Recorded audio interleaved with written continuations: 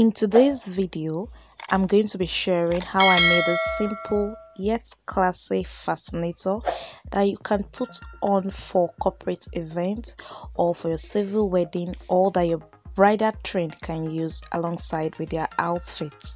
Hi viewers, my name is Susan and this is where I share all things DIY, crafts, lifestyle, family, vlog, you just name it. So welcome to my vlog channel if you are new here and to all my OGs, my old subscribers, thank you so much for your support.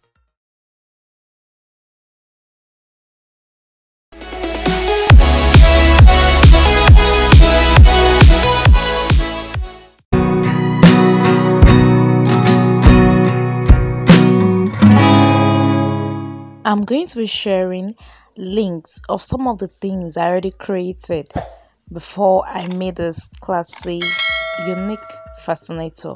So these are all the items I'll be using. I'll be using my lining, my velvet fabric, my already molded fascinator base. I'll leave the link of how to mold this perfectly in the description box beneath this video. Now this is very simple to mold it's very simple to block i'll be using my Evo-Stik glue or my b6000 or my hot gun i don't want NEPA to surprise me as i'm using all this so I'll also be using some embellishment and this beautiful flower that I already created as an accessory. I'll also leave the link of that in the description box beneath this video. Alice band. I'm using the smaller one. I've used this Alice band for several projects so i'm just repeating it again for this particular one since i'm using using this fascinator for myself some scissors some stones. And that's basically all what i used in this video. Please check the description box beneath this video for a detailed list of all the items i used. I also use matching thread bias and today's special shout out special virtual hug is for Alet I hope I got your name pronunciation well. Thank you so much for your support. It really, really means a lot to me. So, the first thing I did was to place my blocked fascinator base on my velvet, and I'm going to cut this just like this. I'm eye gauging the measurements. I'm not using a standard measurement but if you are doing this you want to block it. My base is a seven inches base it's seven inches. So if you want to if you want to create this just use a fabric that is is 10 inches by 10 inches. Both your lining and your your fabric i'm using a velvet fabric here make sure it's is 10 inches by 10 inches you will know why I'm giving that measurements if you've watched my fascinator base video. So I added some some Evo-Stik glue into a bowl and I'm going to use my brush this brush I'm going to use it to apply the, the glue to this side that is facing that is facing me apply it well be generous with your glue and then once i was through allow the glue to firm up a little bit before placing my fabric and smoothing out every edges. Please just watch the video to see i'm doing it. It's very very simple.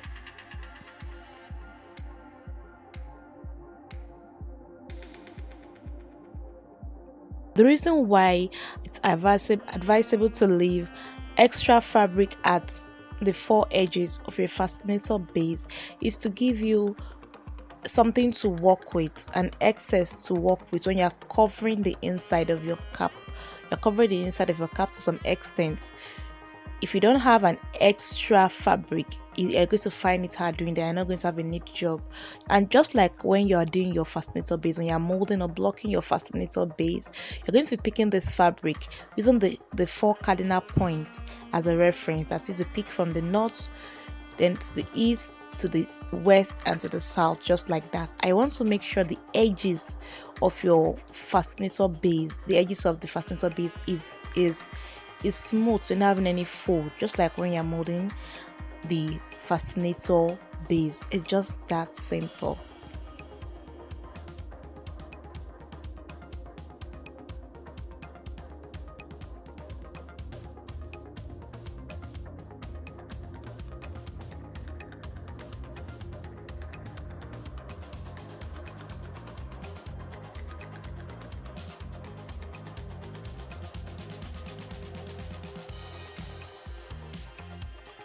after doing this you want to cut off the excess just like this. The extra fabric the extra fabric you have is just to cover the edges of your fascinator base. Your lining is going to do the rest covering after you finish working on your fascinator base. So this is me cutting off the excess fabric from your fascinator base for all my new viewers please please this is the right time for you to subscribe because trust me i'm going to be sharing lots of tutorials lots lots of helpful tutorials on this my channel yes I promise you that. And to my OGs, thank you so much always for your support. Please always leave me a comment. I would love reading your comments. Leave me a comment. So once I was through, I got this my my face net. It's face net they call it or veil or veil this net. You can get it from your fascinator stores your millinery stores. And i'm just going to measure the length i want that is how how long I want it to cover my face. And I'm going to use a matching thread with a needle to stitch it just like this. I'm doing a running stitch. If you look at this net very well you see it has points that are stuck to each other that comes to each other to form this diamond shape.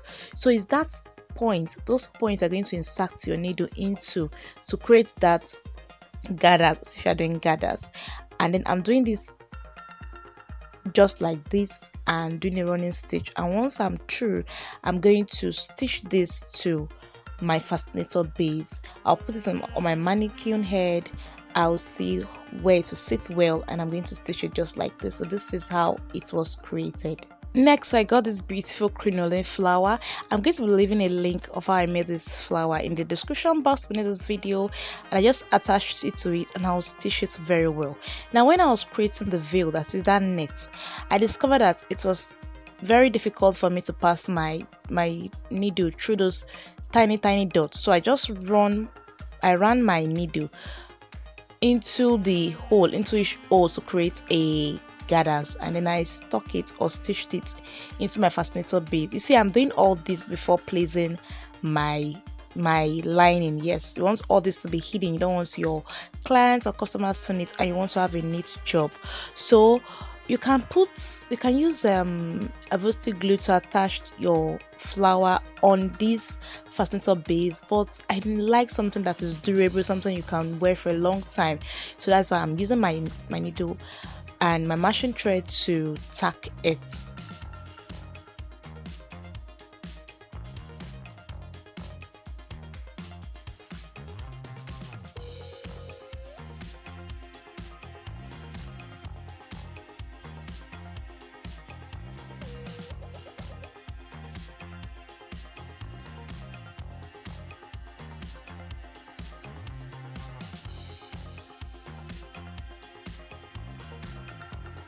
so i did the covering of the inside of the fascinator off camera. I first of all attached my Evo-Stik glue placed my lining and then um attached my bias tape to cover the edges and that was it. I didn't want to bore also the details because it's very simple. I already shared i did the top so i I'm assuming you understand to the center.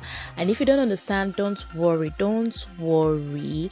I will share in other of my fascinator videos how I cover the inside of my fascinator base. Then I went ahead and added some hot glue gun, hot glue to my to my Alice band and then I placed it where I wanted it to be.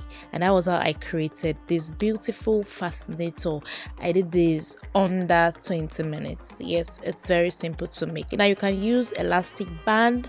You can use elastic band but I'm using this this Alice band. So the way you want it to be the side. If you want it to be on the left side if you are doing this for a bridal train you want to do it on the left side. You want the, the cap base to be on the left side.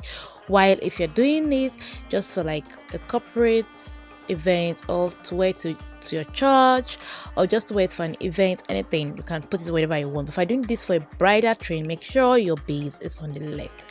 So that's all for me for today. I hope you enjoyed this video and I really really want to see your comments your likes. And if you have not subscribed please subscribe. And please check the description box beneath this video for a detailed list of everything I use with the measurement and some other tips. If you're also doing this for a client you want to add a little fabric to where you attach the Alice band just to conceal where the Alice band was placed. You can also place your label there if you're selling out. I'm not selling out, so I don't need to place my label there.